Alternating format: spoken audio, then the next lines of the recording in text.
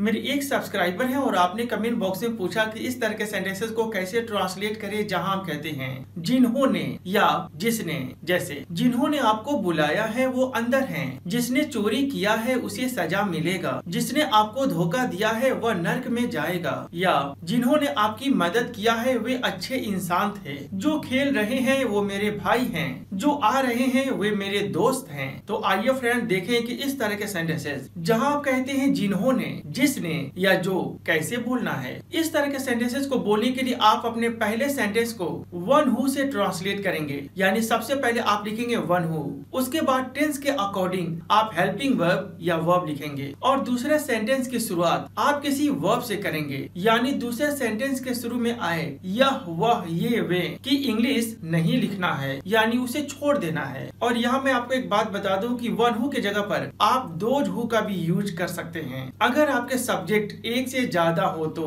यानी प्लूरल में हो तो। कहने का मतलब फ्रेंड्स की वन हु सिंगुलर सब्जेक्ट के साथ लिखना है और दो हु प्लूरल सब्जेक्ट के साथ लिखना है। कैसे लिखना है? आइए इन सभी बातों को एग्ज़ाम्पल में बेहतर तरीके से समझे।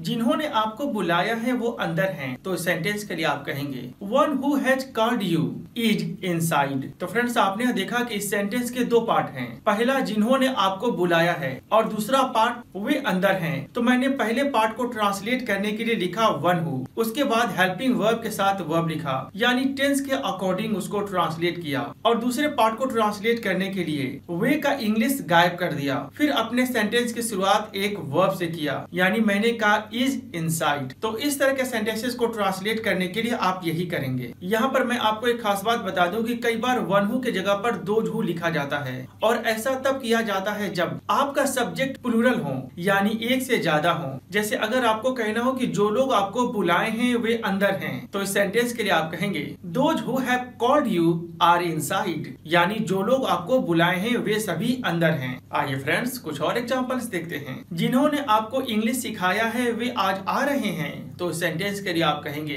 one who has taught you English is coming today यानी जिन्होंने आपको इंग्लिश सिखाया है वे आज आ रहे हैं। तो फ्रेंड्स आपने देखा कि मैंने पहले सेंटेंस की शुरुआत वन हु से किया और दूसरे सेंटेंस की शुरुआत मैंने एक वर्ब से किया और दूसरे सेंटेंस में आए वे की इंग्लिश गायब कर दिया, जिसने मेरी मदद किया वह एक नेक इंसान था। तो इस सेंटेंस के लिए आप कहेंगे one who help me was a gentleman यानी जिसने मेरी मदद किया वह एक नेक इंसान था। अगर मुझे कहना हो कि जिन लोगों ने मेरी मदद किया, वे नेक इंसान थे तो इस सेंटेंस के लिए आप कहेंगे those who help me were gentleman यानी यहाँ मेरा सब्जेक्ट प्लूरल है, इसलिए मैंने बोला दोज हु।